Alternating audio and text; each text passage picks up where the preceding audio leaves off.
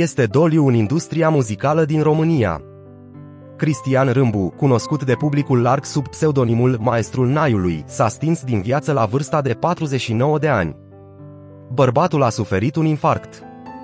Într-un interviu acordat recent, Cristian Râmbu mărturisea că pentru a cânta la Nai e nevoie nu numai de talent muzical, ci și de cunoștințe de matematică. Eu am transformat meseria în artă. Este foarte dificil, este multă matematică ca să faci un nai, declara el într-un interviu, subliniind complexitatea acestui proces. Râmbu considera că doar cei cu o înțelegere profundă a muzicii și a subtilităților sale pot crea un nai de calitate, un proces care depășește cu mult simpla asamblare a tuburilor.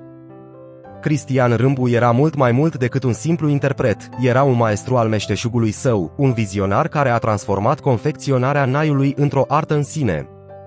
Nu doar că stăpânea tehnica perfecționată a interpretării, dar știa și tainele complicate ale construcției instrumentului, pe care le împărtășea cu profundă pasiune. Anul trecut, unul dintre naiurile sale a ajuns în mâinile legendarului Gheorghe Zamfir, simbolul mondial al acestui instrument, consolidând astfel prestigiul pe care Cristian îl avea în lumea muzicală. Eu am transformat meseria în artă.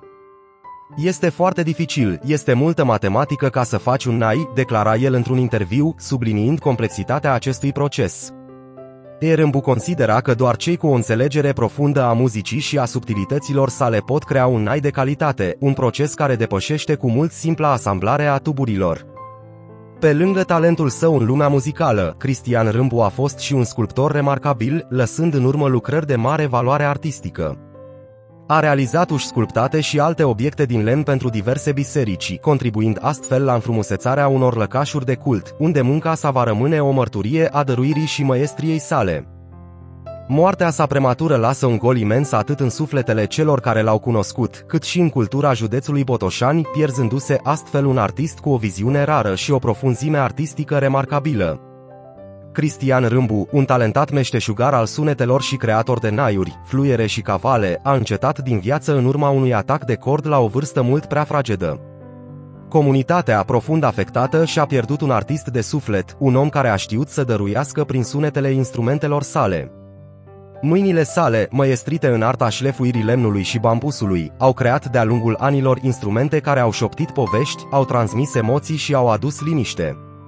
Fiecare nai creat de Cristian nu era doar un instrument muzical, ci o rugăciune tăcută, o bucată din sufletul său înodată în lemn.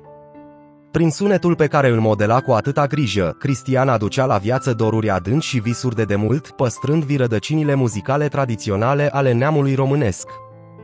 Unul dintre naiurile sale a ajuns chiar anul trecut în mâinile maestrului Gheorghe Zamfir, cunoscutul titan al naiului, într-o întâlnire ce a purtat o scripire divină.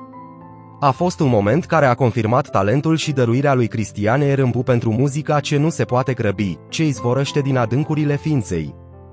Astăzi, însă, mâinile care au creat atâta frumusețe s-au oprit. Cristian Râmbu nu a fost doar un simplu meșteșugar, ci un păstrător al unor tradiții muzicale neprețuite. El a înțeles că muzica adevărată este o formă de rugăciune, o cale spre pacea sufletului, atât pentru cel care o cântă, cât și pentru cel care o ascultă. Deci trupul său nu mai este printre noi, sunetele instrumentelor sale vor continua să răsune. Ele vor aduce aminte de liniștea și împăcarea pe care Cristian a știut să le dăruiască prin munca sa. Într-o lume adesea grăbită și superficială, el a arătat că adevărata măiestrie vine din răbdare, din dragoste și din dorința de a transmite ceva dincolo de timp. Astăzi, comunitatea din Darabani și cei care l-au cunoscut îl plâng pe Cristian Râmbu, dar sunetele create de el vor rămâne vii, ducând mai departe povestea sa și aducând pace celor care le vor asculta. Cristian Râmbu a fost un om care, prin tăcerea sa, a vorbit mai mult decât mulți dintre noi. Sunetele pe care le-a creat, însă, vor continua să ne amintească de un suflet nobil, de un om care ne-a apropiat de Dumnezeu prin arta sa.